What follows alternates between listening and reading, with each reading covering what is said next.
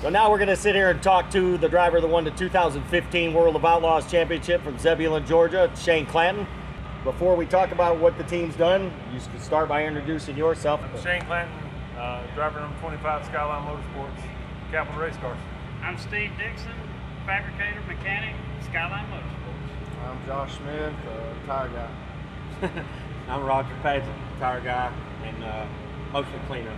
How did you guys all come together? How did you build this team? Uh, Greg Bruening did, uh, the owner of the team. He, uh, he put Chris Madden as the driver at the beginning of the year, and I was driving me and my father-in-law's car, and Chris decided to vacate the seat, and it left it open, so Greg decided to put me in it.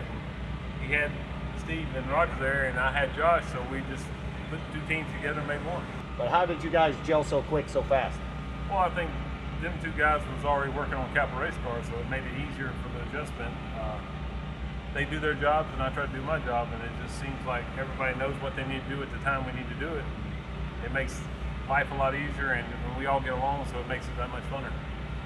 Is he easy to get along with? Yeah, big part of the time. For the most part, yes. What's it like to go down the road and uh, you know be together almost like a married couple Yeah. for the whole summer?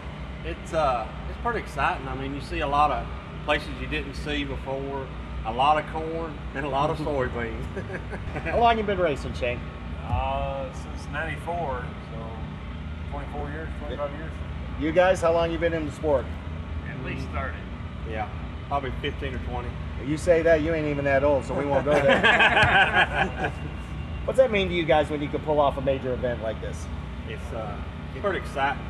Get to live it up 365 days. Pretty satisfying. pretty satisfying. Uh, it, it, no, that's what we race for. It's for the, the wins. And uh, to win an event like this, the Prairie Dirt Classic, you know, it's a it's a premier event, and the whole town here rallies around it. And that's awesome to see. This is an awesome event. It- Good it- atmosphere here. Yeah. Yeah, it's, it's like they said, if it's if it wasn't for the fans, they probably wouldn't do this. And, and for all the fans that, that watch this, yes, you need to experience Fairbury one time in your life, but you need to support all the races. We need you at every racetrack. It ain't just this one. So hopefully, we'd like to make every event this big. And